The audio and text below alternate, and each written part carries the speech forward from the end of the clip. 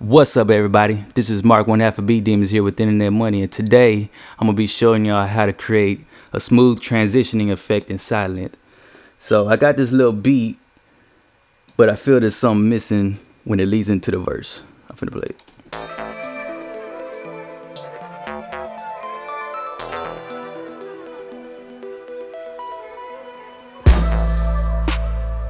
That little area.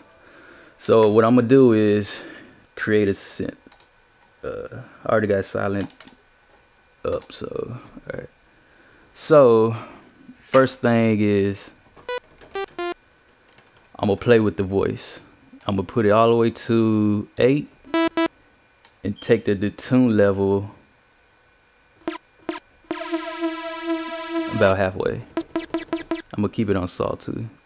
So pretty much what I did here, I'm gonna do here. Put it on saw take it to 8 and take the detune level to halfway. And now I'm gonna mess with the filter type and put on a low pass filter. Take the drive all the way up. The resonance.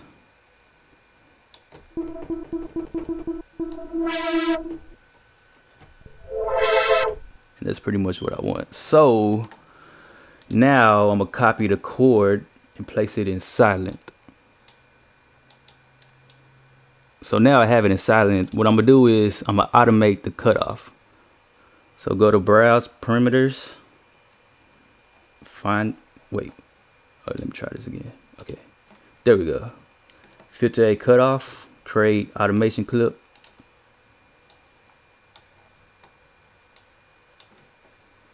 Cut it.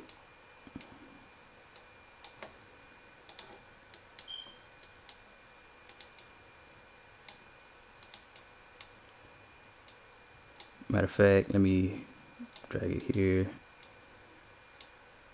And I'm gonna make it slant.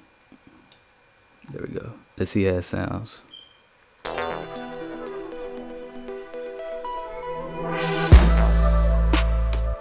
It sounds pretty nice.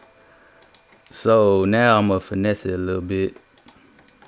Throw a delay. Take it about eight, do a little ping pong effect.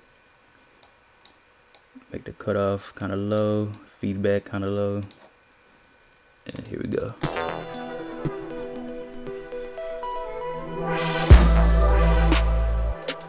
Alright, it's kind of too much. Take the fact, okay.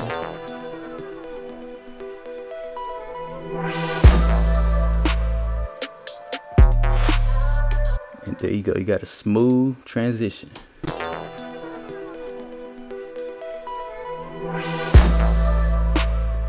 But that's pretty much it.